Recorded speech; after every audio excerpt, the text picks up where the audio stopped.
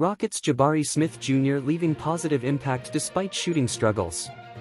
But first, if you're new here on the channel, don't forget to subscribe so you don't miss any Houston Rockets news, make sure to leave a like so YouTube can keep delivering the latest news from the Houston Rockets. Despite his shooting struggles, Jabari Smith Jr. has left a positive impact on the Houston Rockets when it comes to the team's defense and rebounding.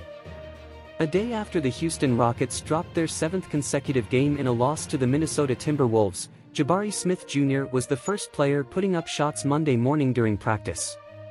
Smith's nine-point performance against the Timberwolves marked the third consecutive game he shot 30% or below. And during his three-game slump, Smith has averaged 8.7 points on 29.6% shooting, 17.6% from behind the arc.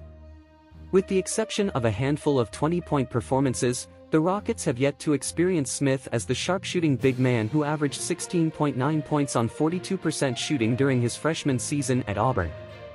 But Smith has already positively impacted Houston's defense and hustle through the first quarter of his rookie campaign. Jabari Smith is slowly but surely coming along, coach Stephen Silas said.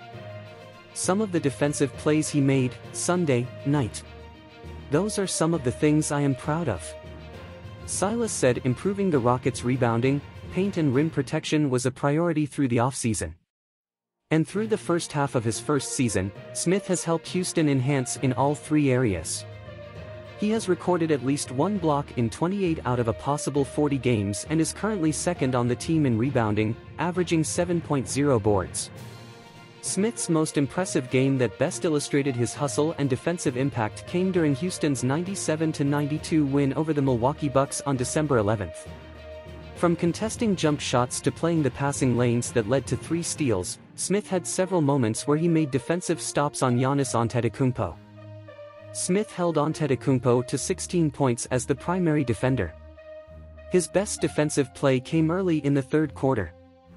He rejected Antetokounmpo's layup attempt, which led to Kevin Porter Jr. converting a dunk on the offensive end. He finished with 10 rebounds and 3 rejections. It's a positive, but I still have so long to go and more to get better at, Smith said. You can look at it and be happy about it. But I still need to focus on what we need to work on.